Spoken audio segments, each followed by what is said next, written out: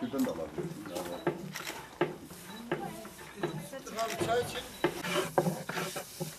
Mahallemizin ne adını da diyorsun. Civerse ne olacak da ya?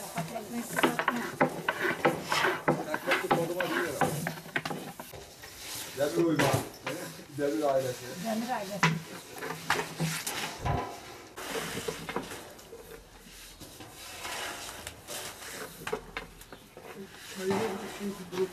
Biz bu ekmeği Maraş'ımızın yöresel e, geleneksel ekmeğini yapıyoruz yufka. E, bu mevsimlerde yapıyoruz. Bahara kadar yiyoruz. Küçüklüğümüzden beri alışkan olduğumuz için vazgeçemiyoruz. O yüzden yapıp yaza kadar yiyoruz. Sabahleyin e, ezan okunu namazımı kılıyorum, hamur yoğurum, yeniyorum, hamurumu yoğuruyorum. Saat 7 gibi çocukların kahvaltısını verip yedi buçuk gibi oturuyorum. Çocuklarım yapmasını bilmiyor bir kızım var da. Bilmiyor. Ben yapıyorum. Ben bunu yapalı da veya oluyor yani 10 yaşındayken başlamıştım. yapıyor biraz işte kış vakti işte 10. ay 11. ay içinde. Normalde işte maddi durumu iyi olmadığı için eşine çocuklarına katkı sağlayabilmek için yapıyor.